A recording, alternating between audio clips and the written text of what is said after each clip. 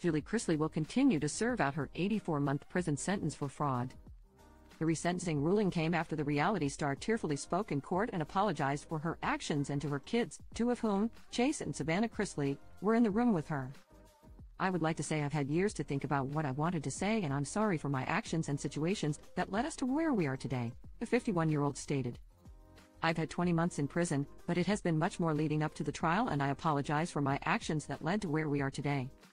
I have done everything I can do to get closer to my family. I've taken tests for new skills, such as driving a forklift and serving food in proper ways. This has been the most difficult part of my life, the Chrisley Knows Best star explained. I can't ever repay my children for what they've had to go through, and for that, I am so sorry. As OK reported, Julie and her husband, Todd, 55, received separate prison sentences, which began in January 2023 in their tax evasion and fraud case. Though Julie began appealing her seven year sentence right away, she still had to go behind bars in the meantime, but she was granted an appeal in June due to insufficient evidence. Todd was denied an appeal and will serve his full 12 year sentence.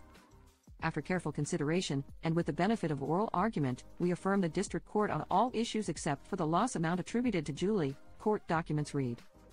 The district court did not identify the evidence it relied on to hold Julie accountable for losses incurred before 2007, and we cannot independently find it in the record.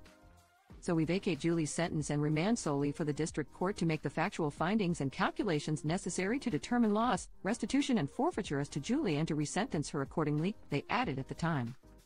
After the matriarch sentence was upheld, Savannah, 27, wrote via Facebook, I am devastated to share the outcome of my mom's resentencing. Savannah has been advocating for both of her parents, claiming they were wrongly targeted and sentenced.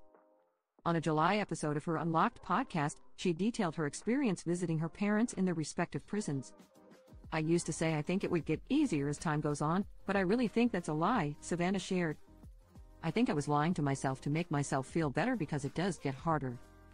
It gets harder each time you leave, and you know you're leaving them behind, the young adult added. The podcast host became the legal guardian of her brother Grayson, now 18, and her 11 year old niece, Chloe, whom her parents adopted from Todd's troubled son Kyle when the couple first reported to jail last year.